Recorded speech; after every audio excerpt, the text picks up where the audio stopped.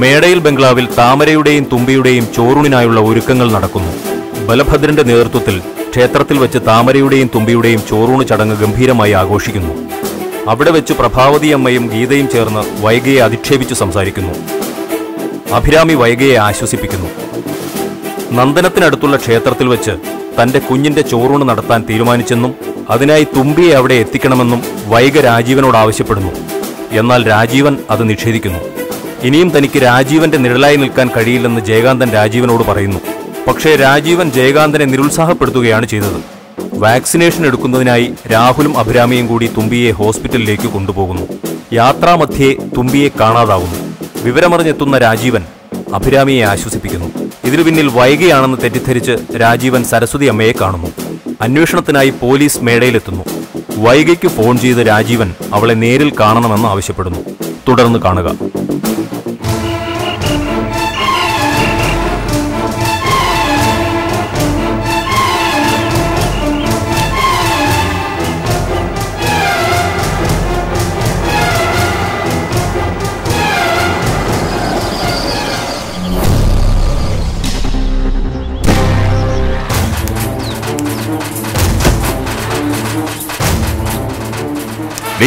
കുഞ്ഞെവിടെ?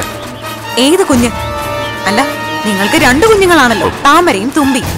അതിൽ താമര എന്റെ വീട്ടിലുണ്ട്. തുമ്പിയെ സംരക്ഷിക്കുന്നത് നിങ്ങളാണല്ലോ. ഞാൻ വിഡ്ഢിയാണെന്ന് നീ കരുതരുത്. നീ വിചാരിച്ച പോലെയൊക്കെ കാര്യങ്ങൾ നടന്നല്ലോ. എന്റെ കുഞ്ഞിനെ വിട്ടുക ഡീ കുഞ്ഞിനെ വിട്ടുതരാൻ രാജീവൻ സാറിന് തലയ്ക്ക് വല്ല കുഴപ്പമുണ്ടോ? അടങ്ങ് സാറേ. ഒരിക്കൽ എന്റെ നിസ്സഹായ അവസ്ഥ മുതലെടുത്ത് നിങ്ങൾ എന്നെ കീഴ്പ്പെടുത്തി. അന്നത്തെ ആ പാവം പെണ്ണല്ല നിങ്ങളുടെ മുമ്പിൽ നിൽക്കുന്ന ഈ വൈക ഒരുപാട് അനുഭവങ്ങളിലൂടെ നിങ്ങളെ പഠിച്ചവളാ ഞാൻ. നിങ്ങളുടെ ഓരോ ചലനത്തിലുള്ള കള്ളത്തരം എനിക്കറിയാം. നീ ഭംഗിയായി നാടകം കളിക്കാൻ പിടിക്കുക പക്ഷേ അത് ഈ രാജീവന്റെ അടുത്ത് എടുക്കരുത്. ഡീ പറയടി കുഞ്ഞെവിടെ. താമര മോളെയാണ് തിരക്കുന്നതെങ്കിൽ നന്ദനത്തിലുണ്ട്. സുഖമായിട്ട് ഉറങ്ങുകയാണ് നീ ഒളിപ്പിച്ചു വെച്ചിരിക്കുന്ന തുമ്പി മോളുടെ കാര്യം ഞാൻ പറഞ്ഞത്. രാജീവൻ സാറേ നിങ്ങൾ വലിയൊരു നടനാണെന്ന് വീണ്ടും വീണ്ടും തെളിയിക്കല്ലേ? ഞാൻ നിങ്ങളോട് ചോറൂണിന് കുഞ്ഞിനെ ചോദിച്ചതിന്റെ പേരിൽ കുഞ്ഞിനെ നിങ്ങൾ വേറെ എവിടേക്കോ മാറ്റി. എന്നിട്ട് എന്റെ മുമ്പിൽ നാടകം കളിക്കുന്നു. പറഞ്ഞ മനസ്സിലായില്ലെങ്കിൽ ഞാൻ എന്ത് ചെയ്യും ഇടി നിന്റെ കുഞ്ഞിനെ കാണാനില്ല. നീ അറിയാതെ കുഞ്ഞ് ഒരിടത്തും പോവില്ല. എന്താ? എന്താ പറഞ്ഞേ? ഒരു ആക്സിഡന്റ് ക്രിയേറ്റ് ചെയ്ത് കാറിൽ നിന്ന് നീ എടുത്തോണ്ട് പോയ തുമ്പിമോളുടെ കാര്യം ഞാൻ ചോദിക്കുന്നത് എന്റെ എന്റെ തുമ്പി മോൾക്ക് എന്ത് സംഭവിച്ചെന്നാ പറഞ്ഞ? എനിക്ക് എന്റെ മോളെ വേണം. അതിന് എനിക്ക് എന്തൊക്കെ ചെയ്യാൻ പറ്റുമോ അതൊക്കെ ഞാൻ ചെയ്യും. എന്റെ തുമ്പി മോൾ തിരിച്ച് മേടയിൽ എത്തുന്നത് വരെ ഞാൻ അവിടെ തന്നെ ഉണ്ടാവും. കുഞ്ഞിനെ കണ്ടെത്തി എന്റെ കയ്യിലേക്ക് തരുന്നത് വരെ നിങ്ങൾക്ക് ഒരു സ്വസ്ഥതയും ഞാൻ തരില്ല. മനസമാധാനത്തോടെ ജീവിക്കാനും ഞാൻ സമ്മതിക്കില്ല.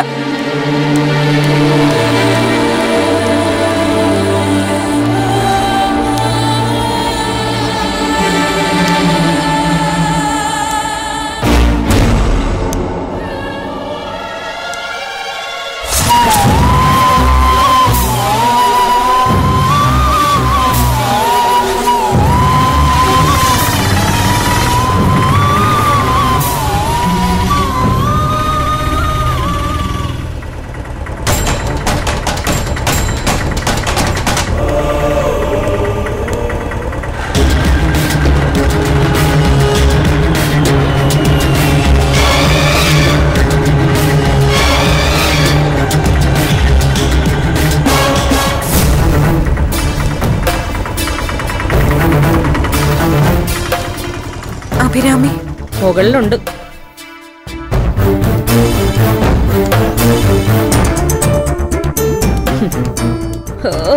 ആശ്വസിപ്പിക്കാൻ വന്നതായിരിക്കും.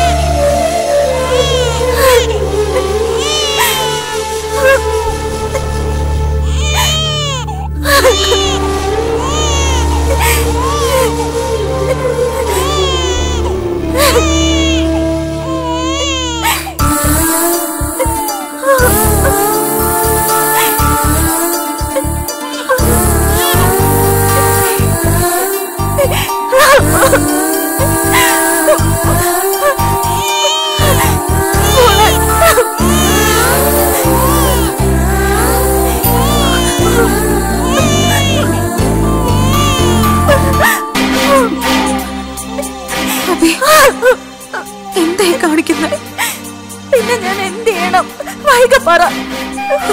കണ്ണടച്ച എന്റെ പൊന്നു മോളുടെ മുഖം എന്റെ മുന്നിൽ തെളിയുന്നത് താമരയും തുമ്പിയും ഒരുപോലെയല്ലേ നമ്മൾ വളർത്തിക്കൊണ്ട് വന്നത്? എന്നിട്ട് താമര മോൾ മാത്രമായി എവിടെ എന്റെ തുമ്പി മോൾ? ഈ സമയത്ത് എന്ത് പറഞ്ഞ് ആശ്വസിപ്പിക്കേണ്ടതെന്ന് എനിക്കറിയില്ല. പക്ഷെ തുമ്മിമോളുടെ കാര്യത്തിൽ നമ്മൾ രണ്ടുപേരും തുല്യ ദുഃഖിതരാ. അതേ എനിക്കിപ്പോ പറയാൻ പറ്റും.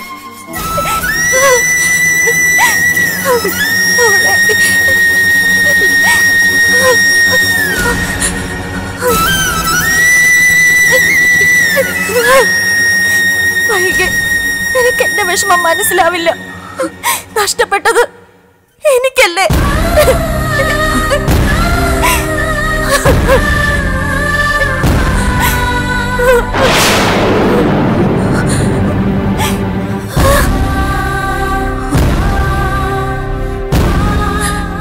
വിഷമം ഞാൻ അറിഞ്ഞില്ലെങ്കിൽ പിന്നെ മറ്റാരും അറിയാം?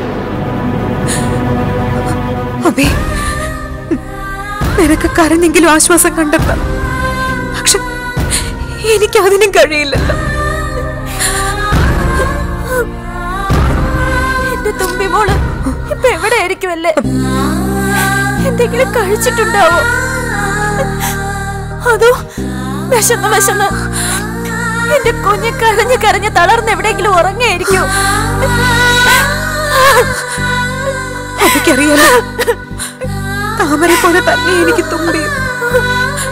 അതുകൊണ്ട് ഈശ്വരന്റെ മുമ്പിലേക്ക് തുമ്പി മോൾക്ക് വേണ്ടി ചെല്ലുന്നത് രണ്ടമ്മമാരുടെ പ്രാർത്ഥനയാ ആ പ്രാർത്ഥന കേൾക്കാതിരിക്കും ഒരു ഈശ്വരനും ആവില്ല.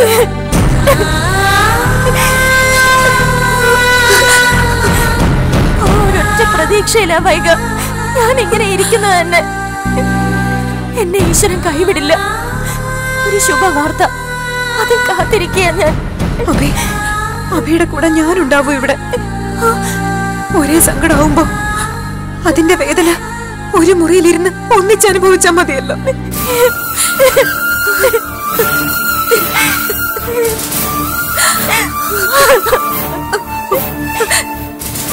ഇപ്പോഴാ വൈക. നീ എന്റെ ശരിക്കും കൂടെ പിറപ്പായത്.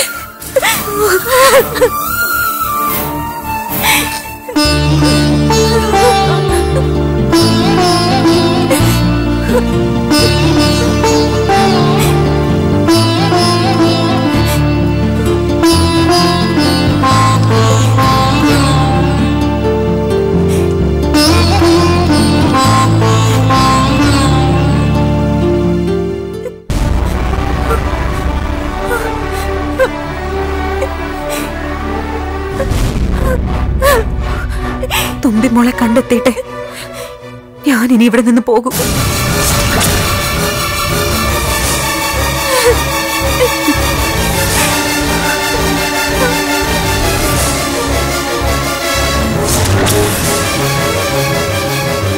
തകർന്നിരിക്കുന്നവനാണ് ഞാൻ. ആ എന്നെ വീണ്ടും തകർക്കാനാണ് നിന്റെ ഭാവമെങ്കിൽ അത് അംഗീകരിച്ചു തരാൻ എപ്പോഴും എനിക്ക് കഴിഞ്ഞെന്ന് വരില്ല. തുമ്പി എന്റെ മോള. നിന്റെ ഭാര്യ അനുഭവിക്കുന്നതിന്റെ പതിന്മടങ്ങ് ദുഃഖം എന്റെ ഉള്ളിലുണ്ട്. അതിനൊരു പരിഹാരം കാണാതെ ഞാൻ ഇനി ഇവിടെ നിന്ന് പോവില്ല രാജീവ.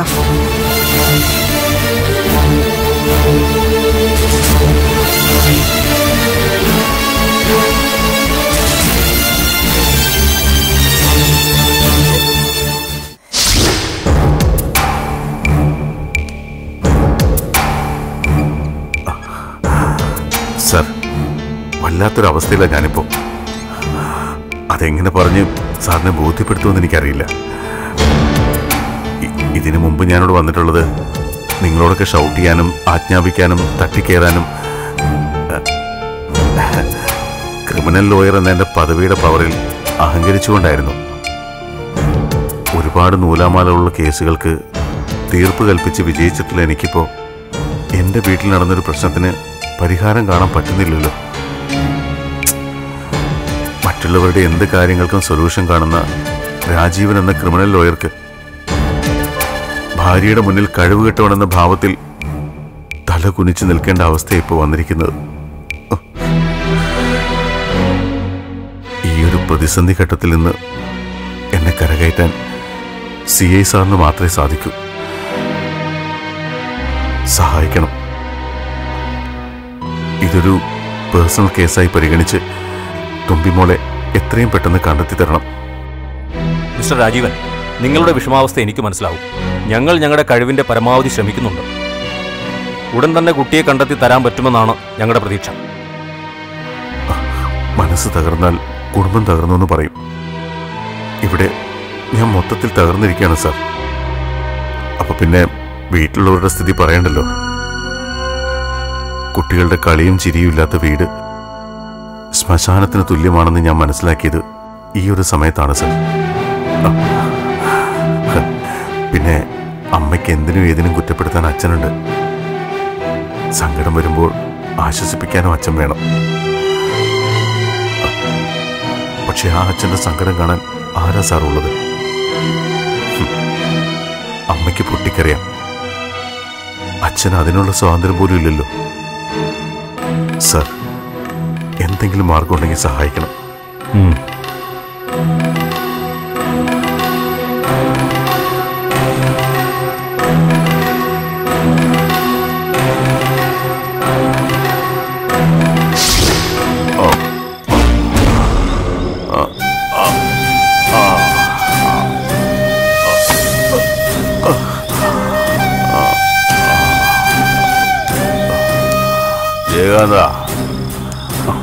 രാജീവ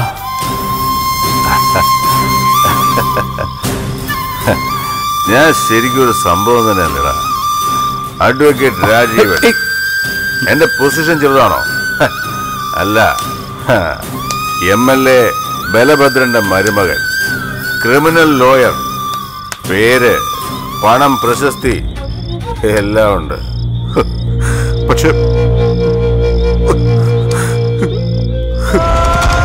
പറഞ്ഞിട്ടെന്താ കാര്യം? മൂടില്ല. ഉറക്കമില്ല. കണ്ണടയ്ക്കാൻ പറ്റുന്നില്ല. മനസ്സിനാണെങ്കിൽ ഒരു സ്വസ്ഥതയില്ല. ഏയ് ഇപ്പോഴത്തെ ഈ സ്വസ്ഥതക്കേട് ശരിക്കും ആരെ ഓർത്തിട്ടാ? അഭിരാമി ഓർത്തിട്ടോ? അതോ വൈകിയെ ഓർത്തിട്ടോ? ഒരാളെന്നെ സ്നേഹിച്ച് തോൽപ്പിക്കാൻ ശ്രമിക്കുന്നു. മറ്റൊരാളെന്നെ പക കൊണ്ട് തോൽപ്പിക്കാൻ ശ്രമിക്കുന്നു. പകയുള്ളവളോട് എനിക്ക് പ്രതികാരം തോന്നാനും പാടില്ല. സ്നേഹിച്ച് തോൽപ്പിക്കുന്നവരുടെ മുന്നിൽ ഞാൻ തോറ്റുപോകാനും പാടില്ല. എടാ എന്നും ജയിച്ചു നിൽക്കാൻ ആഗ്രഹിക്കുന്ന എനിക്ക് ഇവരുടെ മുന്നിൽ തോൽക്കാതിരിക്കാൻ ഒരു വഴി പറഞ്ഞു താ ജയകാന്ത. പറഞ്ഞു താ. രാജീവ നീ ടെൻഷൻ ആവാതെ. പോലീസുകാരെ അന്വേഷിക്കുന്നുണ്ടല്ലോ. എങ്ങനെയെങ്കിലും? അവർ കുട്ടിയെ കണ്ടെത്തിക്കൊണ്ട് വരും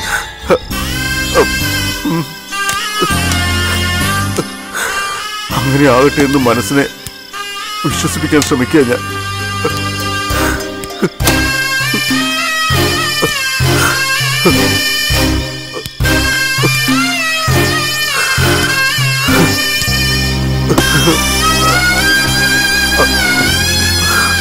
അല്ല വീട്ടിലേക്ക് പോണ്ടേ? വീട്. അതിപ്പോ ഒരു വീടാണോ? ചോദ്യങ്ങളും വേവലാതികളും ഒടുക്കത്തെ സംശയങ്ങളും ഒക്കെ കുത്തി നിറച്ച ഒരു ശവകുടീരം. യെസ്. അങ്ങനെയുള്ളൊരു വീട്ടിലേക്ക് ബോധമുള്ള ആർക്കെങ്കിലും പോകാൻ പറ്റുമോ? ഇല്ല. പറ്റില്ല. ഞാൻ അതുകൊണ്ടാണ് കഴിച്ചത്. ബോധം മറയുന്നവരെ കഴിച്ചത്. രാജീവ നീ ഇനി ഇവിടെ ഇങ്ങനെ കിടന്നാൽ ശരിയാവില്ല. ഞാൻ വീട്ടിൽ ചെല്ലണമെന്നാണോ നീ പറയുന്നത്? പിന്നെ പോവാതെ? ഞാൻ എങ്ങനെ അഭിയെ ഫേസ് ചെയ്യും? എനിക്ക് വയ്യ. എനിക്ക് വയ്യ. റിലാക്സ്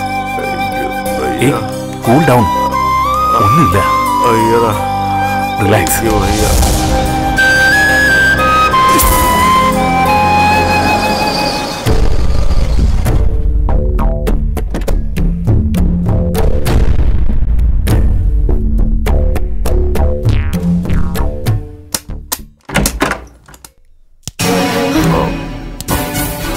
എന്താ രാജീവ് ഇതൊക്കെ? ഏ? അമ്മായി ഒരല്പം കൂടിപ്പോയി.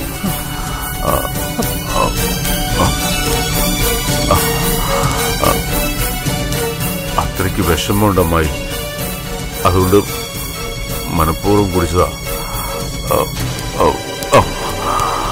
രാജീവേട്ട.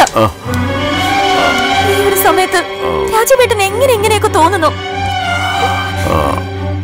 ഒന്നും മനഃപൂർവം ചെയ്യുന്നല്ല.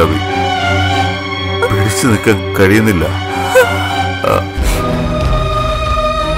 ജീവിതത്തിൽ തോൽക്കുന്നവൻ ചെയ്യുന്നതേ ഞാനും ചെയ്തുള്ളൂ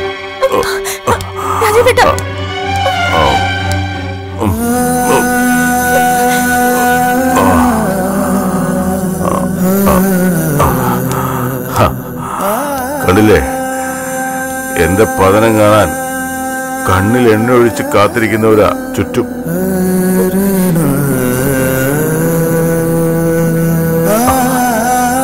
അവർക്ക് മുന്നിൽ ഉറച്ച കാൽവെപ്പുമായി നിൽക്കാൻ അഡ്വക്കേറ്റ് രാജീവിന് കഴിയുന്നില്ല.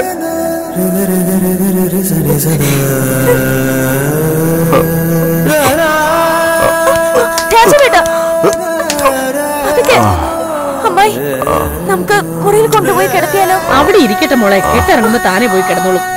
ഓരോരോ പുതിയ ശീലങ്ങൾ രാജീവേട്ട പ്ലീസ് എണീക്ക് രാജീവേട്ട.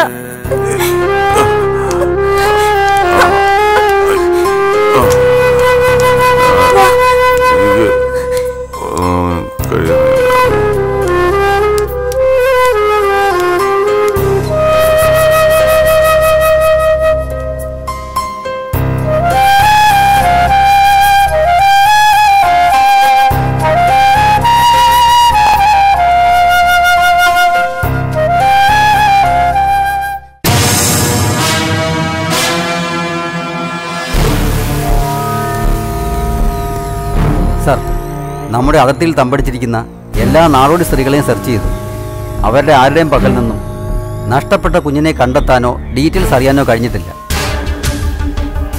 ഇനി ആരെങ്കിലും കുഞ്ഞുമായി അതിർത്തി കടന്നു പോകാൻ ശ്രമിച്ചാൽ അത് ലോക്ക് ചെയ്യാനുള്ള ഏർപ്പാടുകളും ചെയ്തിട്ടുണ്ട് സാർ എനിവേ കാറ് നിർത്തിയെന്ന് പറയുന്ന സ്ഥലത്തിനടുത്തുള്ള ഒരു കടയിലെ C C T V footage കിട്ടിയിട്ടുണ്ട്. സാർ അതിന്റെ ഡീറ്റെയിൽസ് എടുത്തുകൊണ്ടിരിക്കുകയാണ്. ഓക്കെ എത്രയും പെട്ടെന്ന് എനിക്ക് ആ ഫുട്ടേജിന്റെ ഡീറ്റെയിൽസ് കിട്ടണം. ശരി സാർ Mm.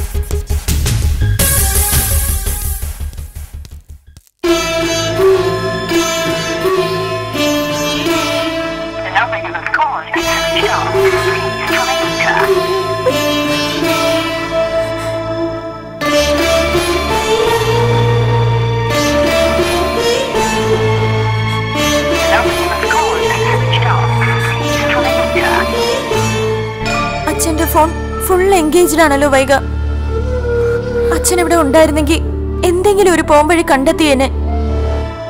അബി നമ്മുടെ പോലീസുകാരുടെ കാര്യങ്ങളൊക്കെ അറിയാലോ.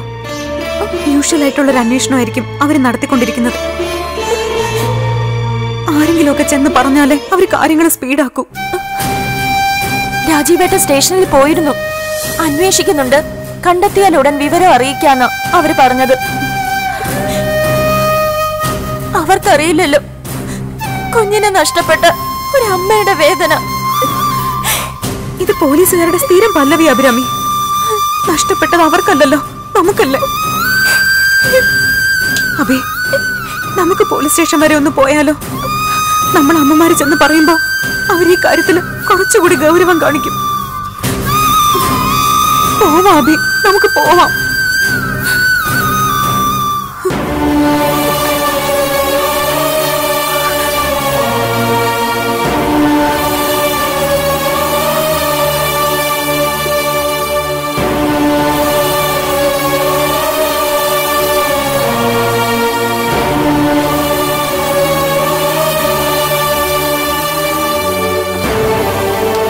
രാജീവേട്ട?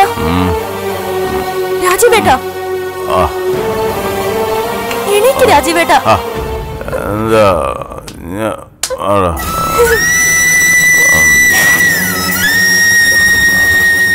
രാജീവേട്ട.